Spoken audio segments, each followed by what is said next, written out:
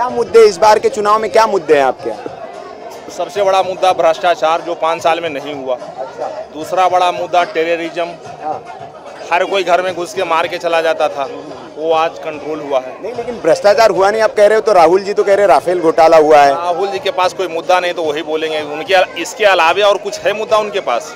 सिर्फ़ एक राफेल छोड़ के कोई और बर्ड उनके मुँह से निकलता है? कभी नहीं। सिर्फ़ राफेल राफेल राफेल। आ इस राफेल पे सुप्रीम कोर्ट तक के उनको डंडा कर दिया। अब क्या? सुप्रीम कोर्ट ने कहा है कि हम पुनर्विचार याचिका एक्सेप्ट किए उन्होंने। हाँ तो उससे क्या होगा? जब इसमें कुछ है ही नहीं तो कुछ मिलेगा ही नहीं। अच्छा मतलब आप मोदी जी पर भरोसा है? उनतीस तक के मोदी अच्छा। आप लिख लीजिए कहीं अगर आपके पास नोटबुक है तो। चौबीस की बात मैं नहीं कर रहा हूँ। दो हज़ार उनतीस ये अच्छा। भविष्यवाणी कर रहा हूँ मैं। आपका शुभ नाम? आरपी सिंह मंडी। बिहार से मंडी दी। अच्छा मंडीदीप भोपाल से ही आप हाँ। तो यहाँ के बारे में जरा बताइए बड़ा दिलचस्प मुकाबला है। एक तरफ़ तो प्रज्ञा जी है और दूसरी तरफ़ दिग्विजय। और हिंदू आतंकवाद का एक मुद्दा यहाँ चल रहा है टक्कर तो यहाँ है इसमें कोई डाउट नहीं है।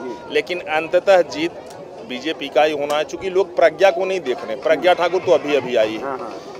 यहाँ से अगर आपको खड़ा कर दिया जाता ना तो भी आप जीत जाते। प्रज्ञा तो दूर है। चूँकि लोग मोदी जी को देख रहे हैं न कि प्रज्ञा को। दूसरी ये दिग्विजय सिंह जिन्होंने हम आज आज ने 92 का इतिहास आपको बताते हैं। 92 में मंडीदीप और भोपाल का हालत इतना बदतर था न बिजली न रोड न पानी। बिजली का हालत तो पूछे नहीं लालटेन घर में अभी भी रखा है पुराना बयानबे में तो पूरे मध्य प्रदेश में बहुत बुरा हाल था।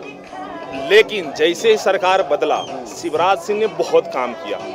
आज हर कोई ये बात ये शिफ्ट करता है। मैं शिवराज जी को हटाया क्यों आपने वो तो कुछ एस सी का चक्कर चल गया। उन्होंने एस सी उनको ले डूबा। हारे क्या भी वोट परसेंट उनका देखिए कि कांग्रेस से ज़्यादा। ज़्यादा है ज़्यादा लेकिन एस सी के चक्कर में कहीं सौ कहीं दो सौ कहीं तीन सौ कहीं चार सौ से और एक बार हटना भी ज़रूरी था। उनको भी समझ में लोगों को ये अहंकार नहीं होना चाहिए कि अब हम ही सब कुछ हैं। सबसे बड़ा पब्लिक है। तो कहते मोदी जी को भी अहंकार हो गया हर बात मैं में करते हैं। नहीं लेकिन अभी उनको अहंकार नहीं है। उन्होंने कहा मैंने घुस के मारा है पाकिस्तान में। नहीं उन्होंने कहा हमने।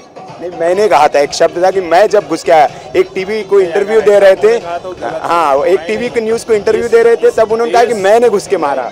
इस देश का सैनिक घुस के मारा और इस देश में हम होता है मतलब हम सबने। हाँ। सेना ने हमने नहीं सेना लेकिन इच्छा शक्ति उनका ज़रूर था क्योंकि सेना तो पहले भी वही थी। मोदी जैसा कोई शासक नहीं था जो उसको ऑर्डर दे सके। आज उनका फ्री हैंड सेना को दिया तो कहीं ना कहीं मोदी जी की भी उपलब्धि इसमें है। लेकिन ओवरऑल सेना। मोदी जी की मानते हैं। सर आपका शुभ नाम? विपुल शर्मा। यहीं से हैं? हाँ यही से। अच्छा क्या आप देख पा रहे हैं? बड़ी सबसे पहले आपसे बोलेंगे ना कि आपने हिंदू हिंदू आतंकवाद बोला। लेकिन मुस्लिम आतंकवाद नहीं बोला आपने। नहीं नहीं ये मुद्दा यहाँ चल रहा है। नहीं ये भी तो मुद्दा है ना कि क्यों बताते हैं? जिसको पूरी दुनिया ने आतंकवादी घोषित किया उसका हमारा कैंडिडेट साहब बोलता है। बस मैटर खत्म। That's all